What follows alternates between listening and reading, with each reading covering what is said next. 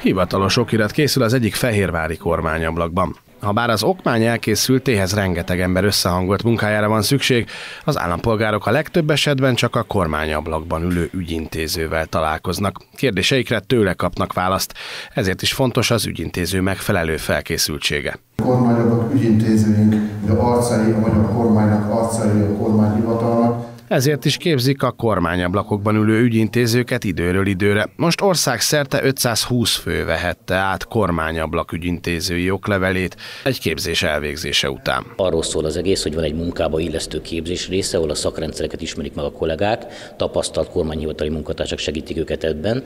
Ezen túlmenően van egy online képzés is, amelyet a Nemzeti Közszolgálati Egyetem csinál, és ezen túlmenően, ami még újdonság, hogy a felkészülést és a, a hivatalban való működést az ügyfélszolgálati mentorok segítik, külön erre a célra is képeztünk ki kollégákat, akik 106-an vesznek részt ebben a projektben, országosan pedig összesen 300 ilyen mentor kollega van. Fehérvár megye valamennyi részéről így városból is érkeztek kormányhivatali munkatársak, hogy az új képzettségüket igazolók levelet átvehessék. Délelőtt a megyeházán 21 fő vehette át a sikeres vizsgát igazoló dokumentumot.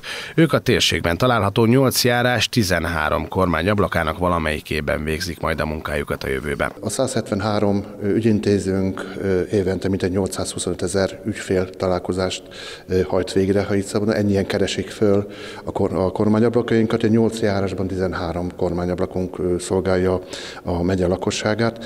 Én azt gondolom, hogy nagyon jó teljesítményt nyújt nyújtanak a, a kolléganők, a kollégák a kormányablakokban, hiszen több mint 2500 ügytípusban szolgáljuk és próbálunk szolgáltatni, és szolgáltatunk is a megye lakossága felé.